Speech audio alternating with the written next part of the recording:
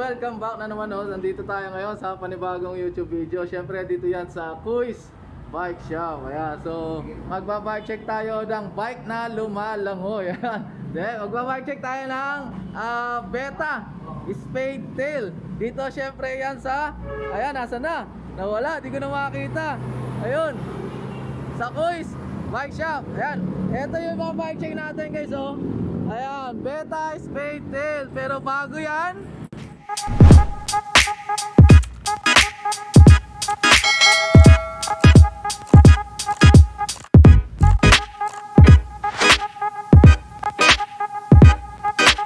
Ayan, so ano pang hinihintay natin guys? Diretso na tayo bike check ng Beta Spade Tail.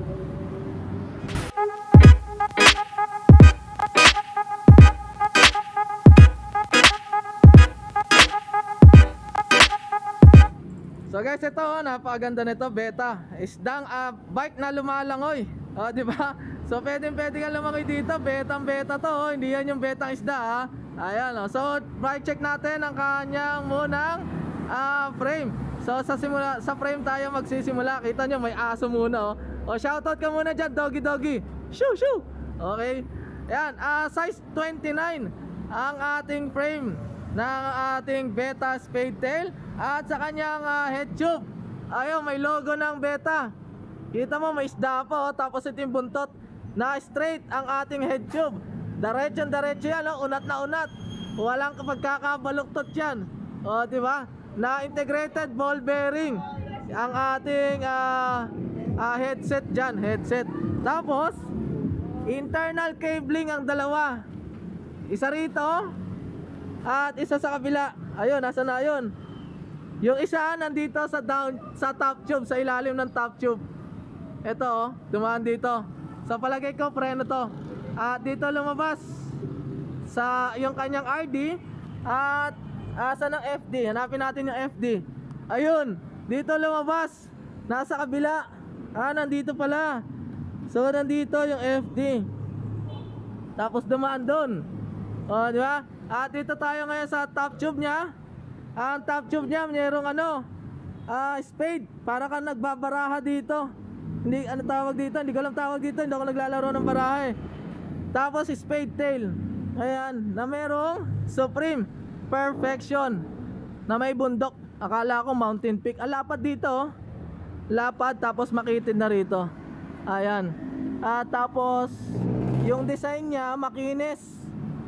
Pag kinapa mo na neon green na may nakalagay end route. End route ba to? End route. Ayan. Tapos maraming uod ng pagkakahinang. Siyempre ganun din dito. Marami ring uod ng pagkakahinang. Tapos may lining na mga green. Tapos nakalagay 29. At dito sa down tube, ah, tubo to guys na didos. Kung hindi ako nagkakamali, didos to. Tapos, mayroong beta makinis. May nakalagay na M3 M536. Ang daming ano, design na green dito, guys. So, pwede ka nang hindi gumamit ng ilaw dito. 'Di ba? Oh, kitang-kita na to sa dilim. Tapos syempre meron yan lalagyanan ng inuminan, malamig na malamig na beer. Sarap yan. Kaya lang walang pulutan dito. Oh. Ang size ng ating frame ay 17. So medium kung hindi ako nagkakamali. Medium yan na aluminum 6061. Oh, di ba? At dito meron din siyang mga uod ng pagkakahinang. At dito sa kanyang seat stay, ayun, flat, ah, flat. Square to. Pa-square na medyo curve. Ayan, konti lang naman. Konti lang yung pagka-curve niya. Ayan oh, na may nakalagay conquer the road. Dito dumaan yung kable sa seat stay. Yung iba dito sa chain stay. eh. Ayan oh, dito oh. Ayan yung RD, kable ng RD. Tapos dito sa chain stay, ah, square din to. Pa-square yan. May nakalagay dyan spade tail. Green din yan, green. 'Di ba? Oh, ganda nito. At dito tayo ngayon sa kanyang fork. Ah, may manual lockout. May manual lockout 'yan.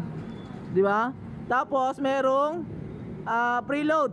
Bakal yung ah, arc, bakal yung ah, nakalimutan ko na. nakalimutan ko na guys. Basta bakal to. Alam ko tawag diyan, nakalimutan ko na eh. Tapos lower bakal din na merong beta. So pintura to guys, hindi mo matatanggal. Ah, 170 mm, ah 170, 100 mm yung travel ng kanyang stanchion. So coil type to, bakal din 'yan. Oh, di ba, di ba? Ah, dito tayo ngayon sa hubs. So ang hubs niya, ah bakal din.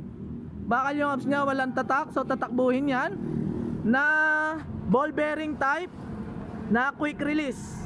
At bilangin natin ang tasbo, 2, 4, 6, 8, 10, 12, 14, 16, 18, 36 holes. Ang ating hubs na gawa sa bakal. Bakal ang spokes. Tapos double wall alloy na rim na may tatak na beta. Ayan o, may tatak na beta oh. Pero sticker lang to, pwede mong tanggalin yan. At ang ating gulong ay pulima. Ayan, pulima, muntik na magpulis lima. O, di ba? At ang gulong natin, ang size niyan ay ayaw magpakita ng size, nagtatago sa akin. Palagay ko 29 to by 2.10. Pero sigma na inigurado tayo, hanapin natin. Baka sa kabila, tingnan natin, baka nasa kabila. Ayan, pulima oh. Pero yung size niya, wala akong makita guys. Wala. Tingnan natin sa kabila. Hanapin natin. Nandyan lang yun. Ayan, 29 by 2.125. Nakikita nyo ba guys? Ayan oh. Nakikita nyo ba? Ayan, 29 by 2.125. At dito tayo ngayon sa kabila. Ganun pa rin. Baka lang hubs na 36 holes. Baka lang spokes. Double wall alloy na rin na gawa ng beta. Ayan. At gulong na pulima na 29 by 2.125. At ang kanyang cogs ay threaded. Ayan, oh, kulay pa lang, thread na yan. Uy, ang lambot. At bilangin natin ang speed. Ayaw mag-focus. 1, 2, 3, 4, 5, 6, 7, 8. 1, 2, 3, 4, 5, 6, 7, 8. 8 speed. Ah, 14 yata to guys. 1428. Yan, 1428 nga. Ayan, oh, 1428. At ang RD niya ay walang tatak. Walang tatak yung RD niya, guys. Tingnan natin sa shifter. Ah, L2. Baka L2 to, guys. Baka L2. Yung shifter niya kasi L2 eh. Etong RD natin, walang tatak. Ayan, pa-comment na lang ako, guys. Kung ano tong ah, RD natin. Ang kadena natin, taya. Ayan, taya ang tatak. Makikipaglaro ka ng mataya-taya dyan. At ang ating crankset ay may tatak na beta. Bak plastic. Bakal yung crank arm na may cover na plastic. 170mm ang haba. Ah, plastic lang din to cover. Tapos may tatlong chain ring na bakal din yan. 34, ah, 20, 22, 32, 44 yata kung hindi ako nag... Ay, mali! 24, 34, 42. Yan. At ang ating FD, wala pa ring tatak. Yan, oh, tatakbuhin yan. Walang tatak, eh, oh.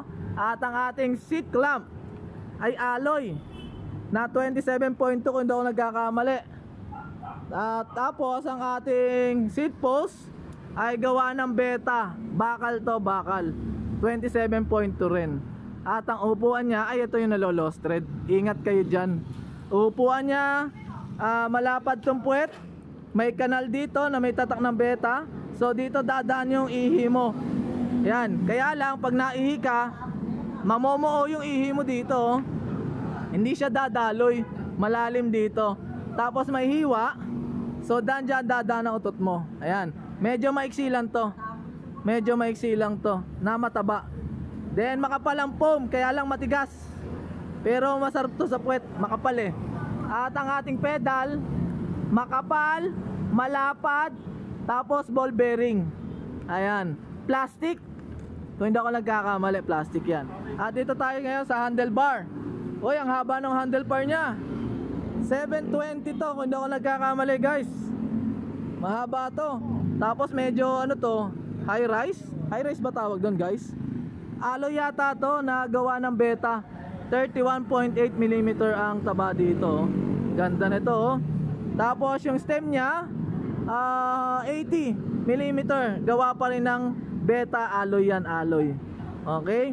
At ang kanyang shifter ay L2 na A3 2 is to 1 sa kabila L2 A3 din ayan at ang hydraulic brakes niya ay wide ano to wide ay baliktad eh ano to RDR RDR ba? O dito, YCY.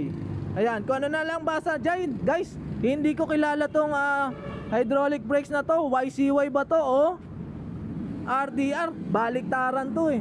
Ayan, sa mga mahihilig sa baliktaran dyan. Ayan o. Pero maano siya, malambot. Malambot yung hydraulic brakes niya.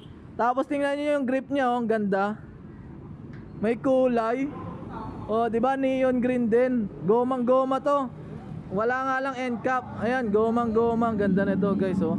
Syempre ganun din sa kabila. Oh, at ito ang pinakamahal na piyesa sa lahat, yung reflector. Ayan oh, mahal 'yan. Ingatan niyo 'yan. At pinakilala ko sa inyo si Yu Feng. Yu Feng ang kanyang ah, headset na merong ilang spacer? Tatlo. Yung spacer niya, guys. Dalawang 10mm at isang 5mm. Tapos yung dust cover niya, dust cover niya 10mm din to na ah, aluminum siguro to. Ayan. O, di ba? At doon tayo sa kabilang side ng bike. So guys, ito yung kabilang side ng bike. Ang makikita mo dyan, syempre yung rotor sa yung caliper. Ang, ang rotor niya ay 160mm. Ayan na walang tatak. So lagyan natin ng tatakbuhin yan. O yan. At ang caliper niya naka IS mount. IS mount na gawa ng YCY. Ayun, YCY pala. Caliper niya. YCY. O, di ba? O, okay na rin to. Yan, laban na rin yan, laban na. Siyempre sa kabila ganun din. IS mount na YCY na caliper. Tapos 160mm na ah, rotor. At ito yung kabilang side ng crank niya guys oh. Ito yung crank arm. Ganon din, bakal tong nasa loob. May cover lang na plastic na may tatak na beta. So palagay ko guys, wala na tayong nakakalimutan dito. So panuloy natin ang ganda nitong beta spade tail. So ayan guys, ang ating bike check video. O ayan oh. Then syempre, di ba no? Para kayo no? Para tayong macho dancer dito. Ayan. Ayan, oh, balik tayo. Ayan ang bike check natin ng Beta Spade Tail. Ayan, nagkakalaga nga pala to ng 9,300 pesos. Dito lang yan sa Toys Bike Shop. So ilalagay ko sa description ang Facebook link niya, pati contact number at Google Map para sa mga gustong kumontak at sumadya dito para mag-avail ng kanilang mga bike. So hanggang dyan na lang guys. Yan o, shoutout muna tayo. ayaw, ayaw, ayaw. Ayan. So hanggang dyan na lang guys. Huwag kalimutan pindutin ang like. Comment na rin kayo kung ano sasabi ninyo sa Beta Spell Tail. At huwag na huwag kakalimutan pindutin ang subscribe button para ma-notify kayo sa mga susunod natin na bike check videos. Hanggang dyan na lang guys. Woo! Para tayo macho dancer dito. oh.